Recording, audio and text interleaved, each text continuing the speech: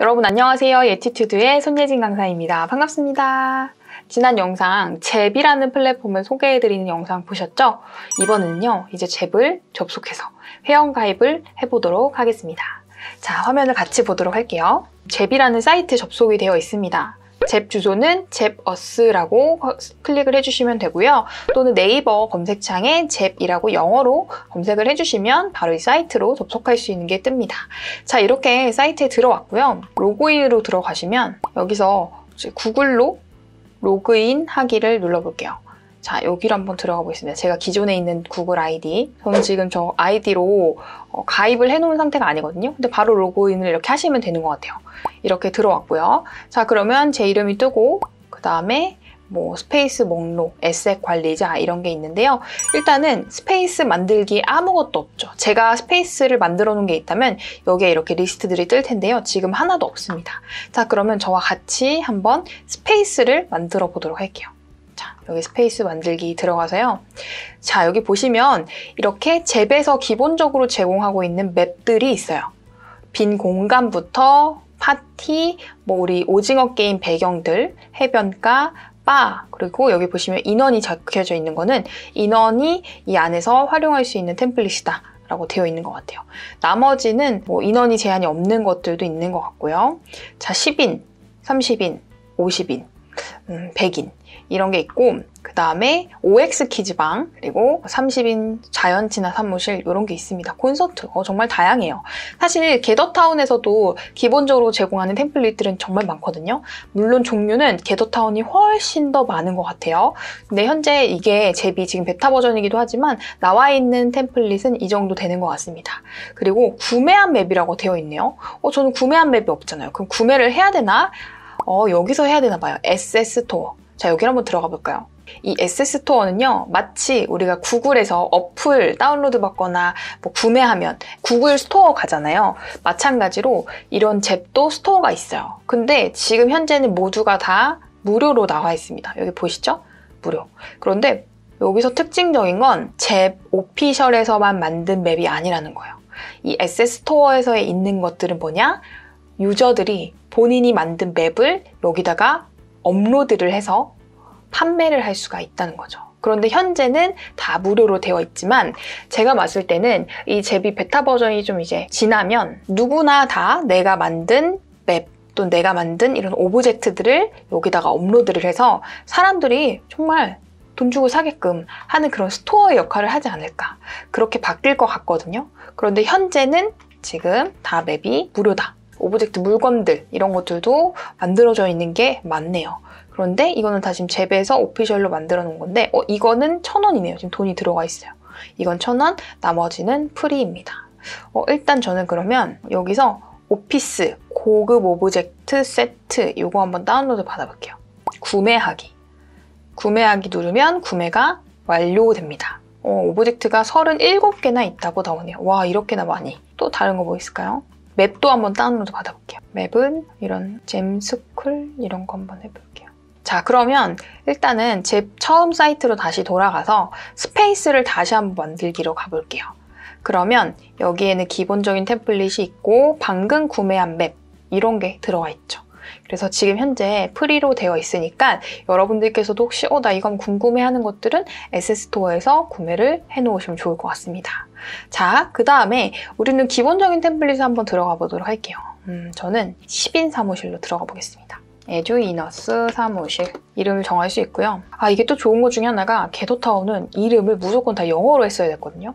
그런데 이게 한국어로 된다는 게 너무 좋은 것 같아요. 비밀번호 설정을 여기서 하셔도 되고요. 만약에 여기서 하지 않더라도 나중에 들어가서 에디터에 가서 바꿀 수도 있습니다.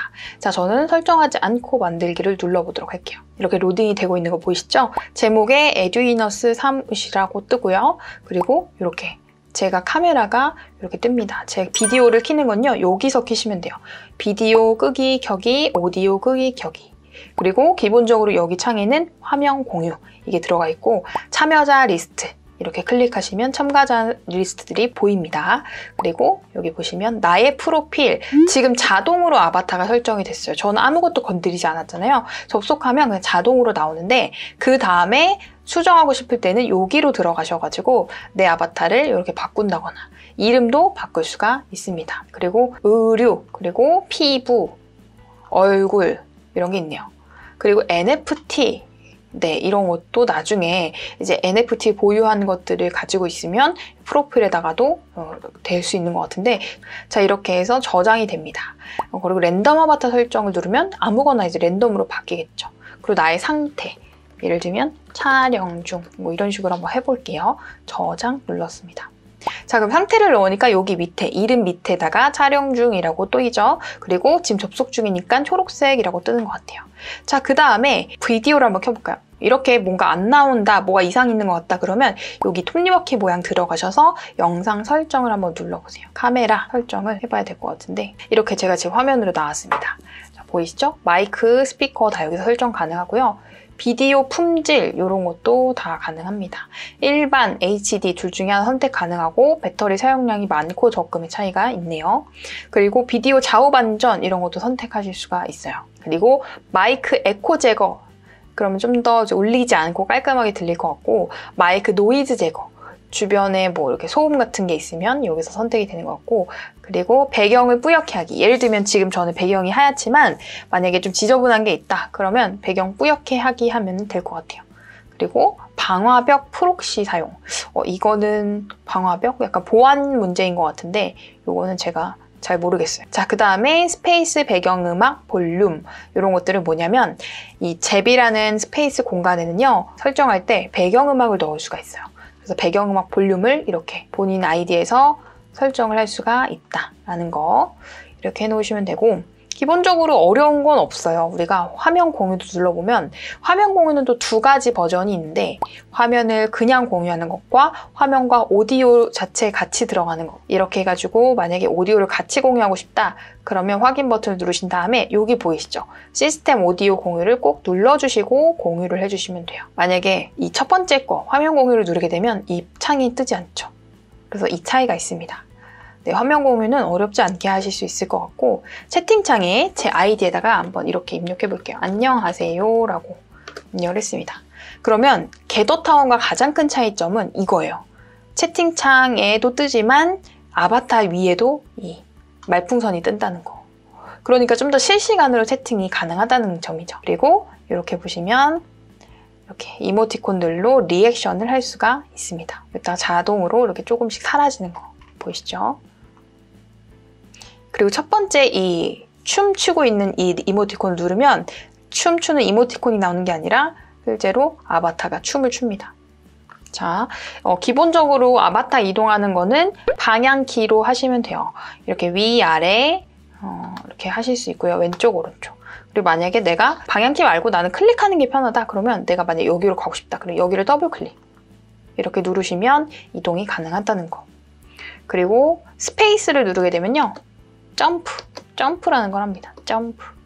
여기 보시면 레이아웃이라는 게 보이시죠? 레이아웃이 뭘까요? 레이아웃을 누르게 되면 지금 우측 정렬되어 있고 그리드처럼 사람들이 여러 명 있으면 이렇게 여러 명의 그리드의 화면이 보일 거고요. 위로 정렬하고 싶다, 위로. 그리고 그냥 가리고 싶다, 얼굴을. 그러면 이렇게 가릴 수도 있습니다.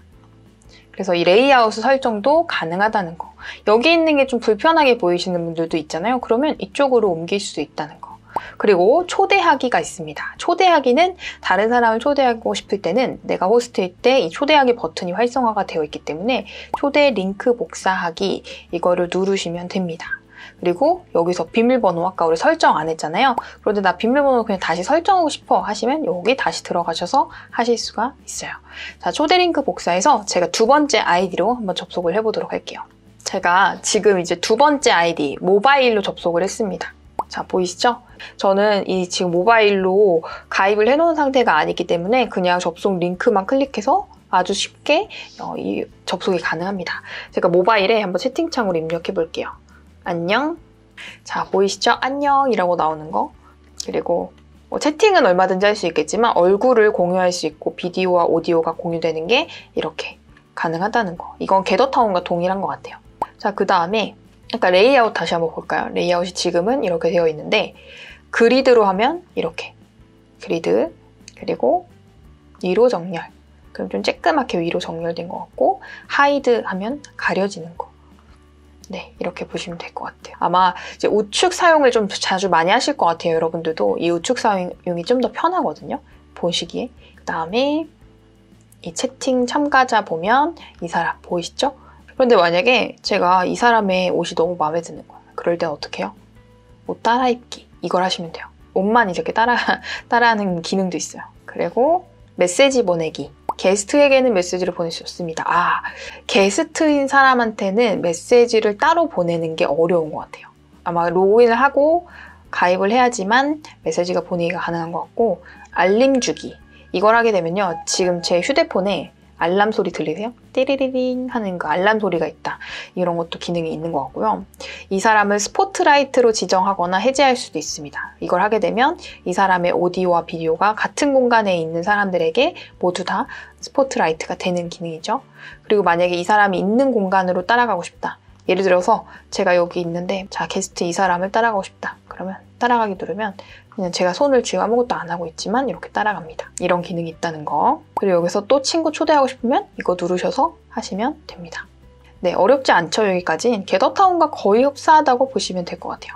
그래서 우리가 한번 이렇게 이동하는 거, 그리고 아바타 설정하는 거 이렇게 봤습니다. 저는 제일 좋은 게 이 게더타운은 아바타끼리 이렇게 부딪히면 이동할 수가 없었거든요. 그래서 G키를 눌러야 되는 좀 약간의 번거로움이 있었는데 여기는 이렇게 없어요. 그런 게 없어서 좋은 것 같아요. 제가 휴대폰으로 지금 움직이고 있는데요. 휴대폰은 방향키가 없이 그냥 터치로 드래그하면서 이동하면 돼요. 근데 되게 쉽게 이동이 되고 어렵지 않아요. 그래서 이용하는데 어, 꼭 PC가 아니고 모바일이어도 충분히 가능하기 때문에 저는 더 좋지 않을까라는 생각이 듭니다. 자, 이렇게 해서 저희가 기본적으로 접속하고 초대하고 사용하는 방법들을 보여드렸습니다. 자 다음 영상에서 만나요. 안녕!